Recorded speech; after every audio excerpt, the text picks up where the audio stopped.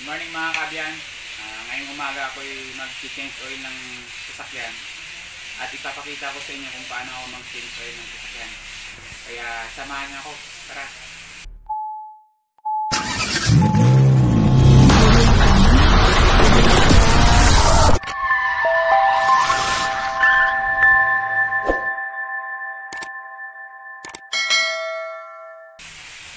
Mga kabyan, dahil ako'y mag-change oil ng sasakyan, bumili na ako ng gamit na pang change oil. Bumili na ako ng langis. Yan. Bumili na rin ako ng oil filter. Ito yung oil filter na bibili na sa mga auto supply. At kailangan lang natin din mga kabyan na tools. Ito yung open range na 17mm. Pag nag-change oil tayo mga kabyan, yung pang tanggal natin sa drain plug, yung gamitin natin ay yung close range. Huwag natin gamitin to yung open range kasi maaaring mabibilog yung tornilyo ng drain plug natin. So, pwede naman kayo mga kabyan gumamit ng ano, ng socket range na 17mm. Saka, nagamit lang ko ng power handle. Pero, pag gumamit ito mga kabyan, alalay lang. Kasi medyo presado nga to. Baka maaaring masira yung tornilyo natin, malos thread. Saka bumili na rin ako mga kabyan ng ano, ng copper washer doon sa drain plug kasi dapat every change oil kailangan natin magpalit nito para hindi mag-leak yung langis natin sa drain plug natin. Saka embudo para pag nagsalin tayo mamaya ng mga kaabyan ng langis improvise lang na embudo para hindi matapon. Ah, basahan. Kaya, kaya mga kabyan, tara, umpisahan na natin. Ay, kailangan pa natin pala mga kabyan ng ano, improvise din na pangsahod. Planggana. Para pagsahod natin sa pinag-change oilan natin. Kailangan natin ano, gumapang sa ilalim. Yan. Ayan. Mga kabyan, ito yung drain plug. Yan, ito yung pinaka drain plug ng ano ng ng makina sa langis. Yan lang naman nag-iisa dito. Yan. Na mga kabyan, no. Yan, ito yung ito yung drain plug. Yan, ito yung tatanggalin natin. Makikita mo naman sa pinakailalim yung mga kabyan kung saan sa banda. Kaya tuluwagan ko na mga kabyan.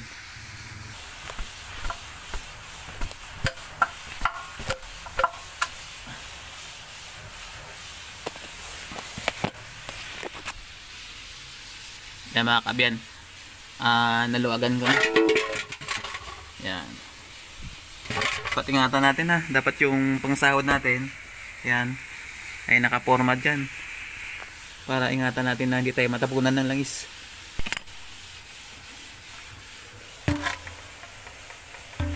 Mga kabyan, tumutulo na. Tanggalin na natin ang tuluyan.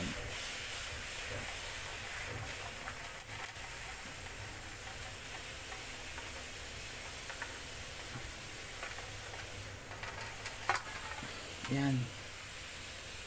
Mga kabyan, no?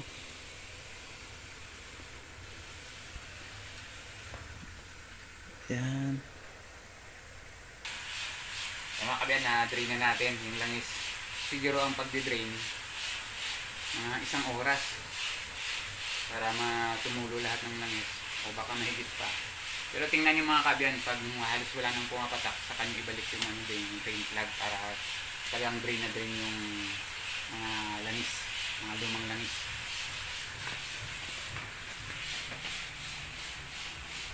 Tanggalin natin to.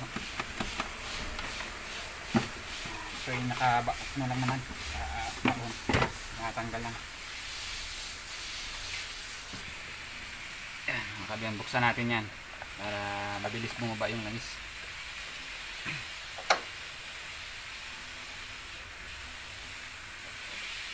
Saka mga kabyan, tanggalin natin yung ano.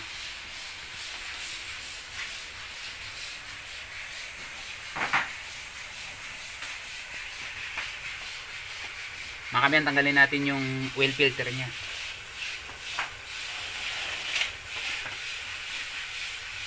Ano na yung dito niya? Ano pa Ayan, ito yung oil filter niya, ito. Sa ilalim. Mga kabiyan, mang bawat sa sasakyan may kanya-kanyang design kung saan nakalagay yung oil filter. Yung pangtanggal nito mga kabiyan ng ano, ng oil filter. Sa akin malimit pag tinatanggal ko siya, malimit kinagamitan ko ng ano, yung papel diliha. Papel diliha o sandpaper ang tawag nito para kumapit yung kamay ko, mapihit ko siya ng maayos. Mayroon namang nabibiling mga rinse na pangtanggal nito. Kaso lang gagastos ka pa. Pero kung may extra budget ka, pwede ka namang bumili. Kaya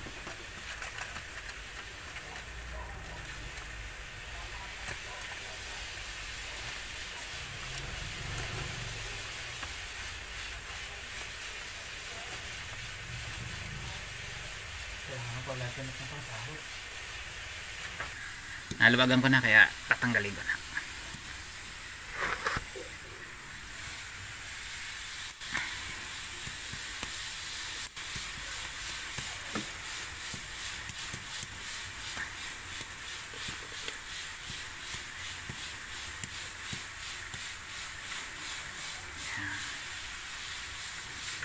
Ito ay original parts pa. Dati kasi halos paro mga original ang binibili ko pag nag-change oil. Eh, susubukan ko naman yung mga nabibili lang na sa auto supply. Pero mga matitibay naman yan.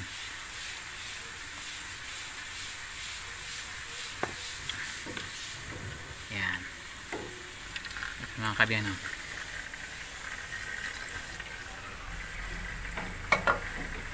Kopya. Yung ano, yung mga kabyan, palitan natin yung washer natin na cutter. Kasi pag once na nagamit na natin, automatic yung doing every change oil mo, palitan mo. Kasi napipi na yun eh. Maaring mag-leak yung langis doon pag hindi mo siya napalitan. Bali mga nakaisang oras na mga kabyan, medyo hindi na tumutulo yung langis, kaya ibalik na natin yung drain plug.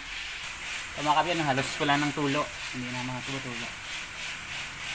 Uh, uh, panasaman natin pa natin ibalik.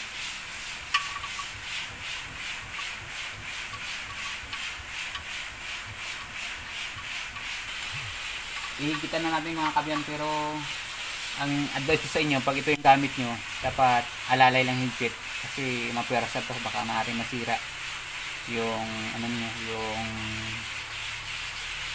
yung drain plug. Drain plug niya alalay lang yan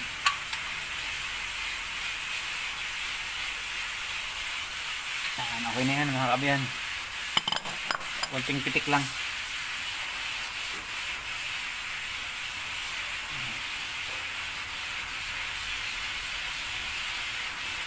Mga kabyan sa pagkakabit ng oil filter lagyan natin ng kunting langis. Ito. Para pag pinihit natin doon ay dudulas pag lumapat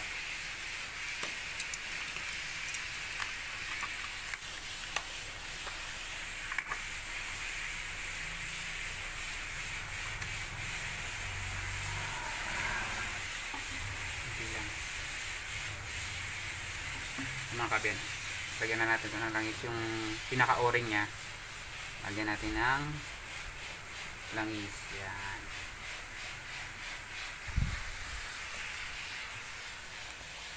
Yan mga kabyan ito yung ito yung lagayan natin ng oil filter. Yan. Kailangan natin linisin yan.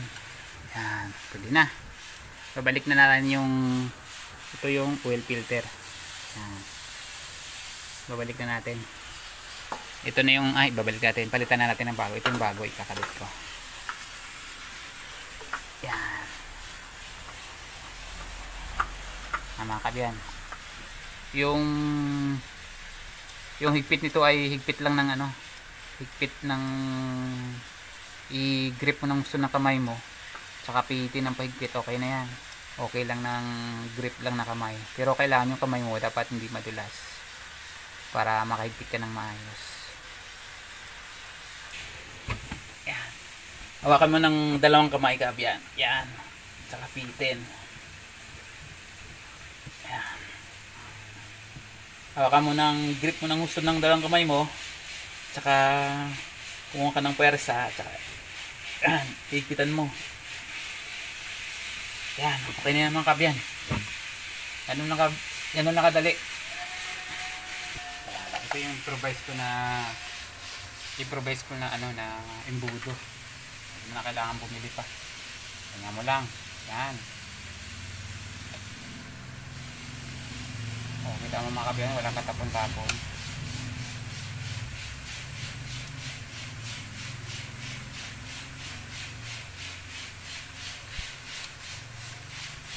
At saka mga kabyan, ah, ang pag-change oil ng sasakyan, dapat every 5,000 km yung takbo niya, kailangan mo siyang i-change oil. 5,000 mga kabyan ha. Every 5,000 km, ang change oil kayo ng sasakyan nyo para maalagaan yung kanyang makina. Dapat mga kabyan, meron kayong ano, meron kayong konting notebook na every change oil mo o kahit anong bagay na ginawa mo sa sakyan mo, dapat isusulat mo dun para mayroon kang reference balang araw pag may ginawa ka. Yung kailan mo siya ginawa, anong ginawa mo. Ako mayroon akong kunting isang notebook na maliit. Doon lahat naka-indicate. Yung odometer niya, kung ilang kilometer siya bago oil. Kung anong ginawa ko, ilang langis yung nilagay ko, anong pinalitan ko. Yan, nakalagay doon mga kabel. Yan nakagandahan ka abyan pag may notebook ka na isusulat mo yung bawat ginawa ng sasakyan mo para meron ano niya, naka history ng buhay ng makina mo ng sasakyan mo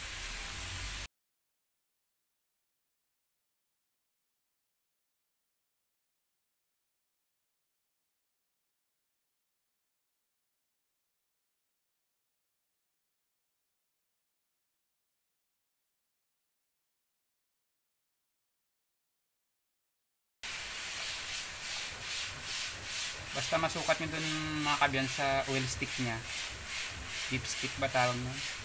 ah dipstick pala. Sa kanyang dipstick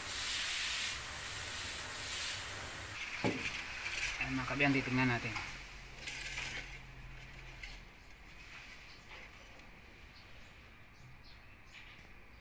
Oh, hanggang dito.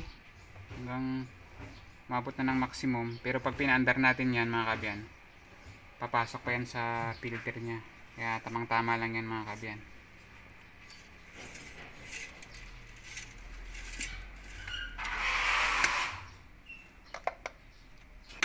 Kaya mga kabyan ganun lang kadali mag change oil. Ah, napakadali lang naman gawin kaya pwedeng pwede nyo yung subukan. Kayang kaya nyo yung gawin.